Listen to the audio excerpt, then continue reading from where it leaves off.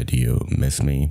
Meta in COD Mobile is really diverse, which makes it hard to fit all the good weapons in the top 10 ranking. Nonetheless, these are some must-use weapons in Season 4 of COD Mobile.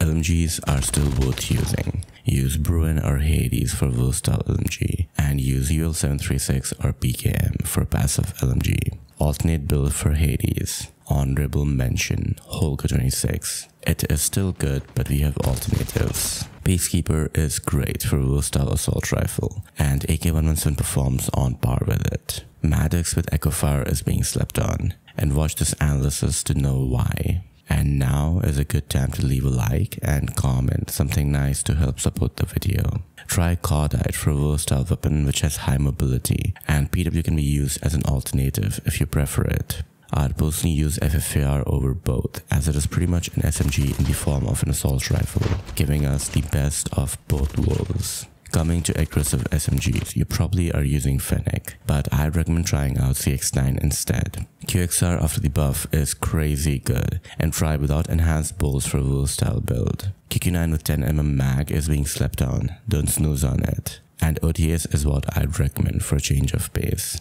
as it is meta worthy but not used as much. Honorable mention MX9. Odin after the buff can two shot hitting around the chest area, takes over DRH which is what we used in past for this utility, and red dot build if you want. Type 19 makes most other assault rifles pretty much pointless, as this is the only weapon you need in ranked. MG42 brings back the OG LMG meta and reminds me of when Chopper used to be the most used weapon in ranked during the OG days. And this for silenced build. You can change the stock or grip as you prefer. For more analysis and best gunsmith builds, you can join our Discord server. HVK continues dominating the ranking as the best assault rifle to use, and I personally prefer the versatile build and I play aggressive with it. Man O War comes as a dark horse, as the thermite mag allows us to do shot at any range with crazy fast time to kill, making it very lethal and very consistent weapon to use. Use this for a bullet spread focused build. Can use without the thermite mag as well for the passive assault rifle playstyle.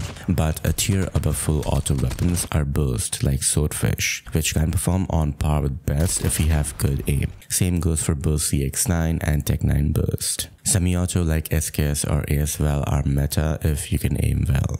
And a tier above is one-shot weapons like Tundra, which is the best sniper, XPR if you prefer semi-auto, Argus for shotgun, R9 which is basically a more forgiving Argus, MK2 which is the best marksman alongside Kilo. And even after mentioning all those weapons, I have tons more to cover from AK-47, KN-44, Krig 6, etc. Why the meta list is still not complete. I'll do proper ranking based on playstyles soon. In the meantime, stop using the old meta and start using these alternate weapons instead. I will see you on the next video.